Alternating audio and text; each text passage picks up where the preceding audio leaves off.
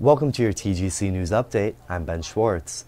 Monday night's City Council meeting went smooth as usual. The night began with a public hearing to give residents a chance to voice their opinion on the city's application for a community development block grant. Council then moved into its regular session. Mayor Patterson addressed the room with reports and communications, notably mentioning pothole repairs to happen this week on West State Street, Mill Street, and Stimson Avenue, among others. Ordinances for third reading were brought up next including two ordinances being approved to allow the blocking of part of Court Street, as well as vendors being allowed to set up on August 4th for Bounty on the Bricks. Ordinance 0-24-28 was also approved, allowing the Service Safety Director to spend $196,000 on much-needed repairs to Arts West. Council then went into second and first readings until ending with a one-reading resolution to oppose the trapping and killing of bobcats. The resolution was approved by Council. Now let's go to Zach Shrivers with an APRD update. Despite the weather this week, spring has arrived, and with it, the Arts, Parks, and Recreation Department has released their spring brochure. In the brochure, you can learn about new activities and classes that are being offered this spring at the Community Center. Martial arts classes, including adult karate, beginners taekwondo, family taekwondo, and tai chi, are all taking sign ups.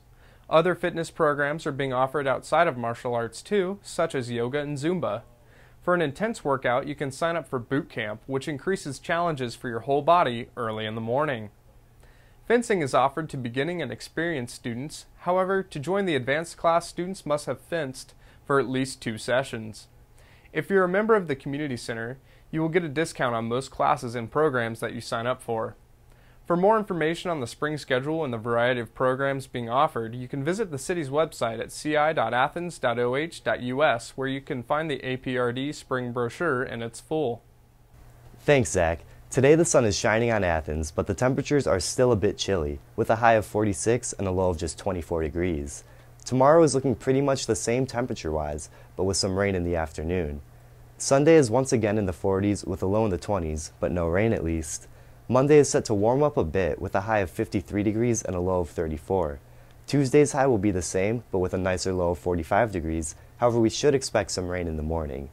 Wednesday is looking to warm up even more though. We're set to have a high of 60 and a low of 47, but with some rain. Thursday is looking pretty similar, but a bit cooler on the low end with a low of just 38 degrees. Now let's head back to Zach with some fest season legal and safety reminders. With fest season coming up, the City of Athens would like to remind you of how to stay safe during local festivals. First off, clean up around your property so that anything that could be used as a projectile doesn't become a projectile. You should also move any indoor furniture, such as couches, inside so that they do not become a fire safety hazard. Please don't hesitate to ask belligerent or aggressive guests to leave, and if they give you any trouble, you can call the Athens Police Department if needed. Please allow your guests to use your restroom and make sure that anyone who is consuming alcohol is 21 years of age or older. Another way to ensure everyone's safety is to not allow anything to be thrown beyond the bounds of your property, including things like footballs or frisbees. I'm Zach Shrivers with TGC wishing you a safe fest season.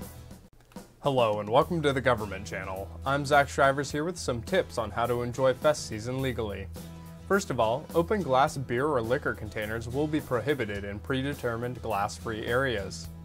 Outdoor fires are strictly prohibited within city limits, which means anything from small campfires to large bonfires are absolutely not allowed, so please do not start any. And on that note, please check that your smoke detectors and fire extinguishers are fully functioning before you start festing. Stages are allowed, but you need to contact the Code Enforcement Office at 740-592-3306 to verify that your stage will not be obstructing emergency egress.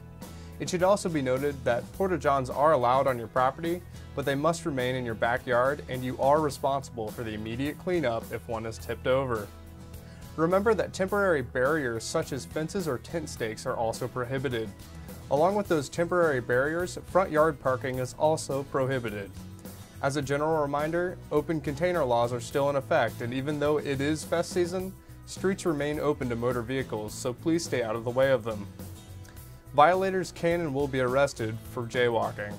Please respect the orders of Athens police officers as they have a right to shut down a party if they discover public indecency, illegal use of a controlled substance, destruction of property without the property owner's consent, unlawful pedestrian or vehicular traffic, or any threatening actions. Also, please keep the noise level to an acceptable level at all times and turn off music by midnight on the weekends. Stay safe and within the law this fest season. I'm Zach Shrivers wishing you the best.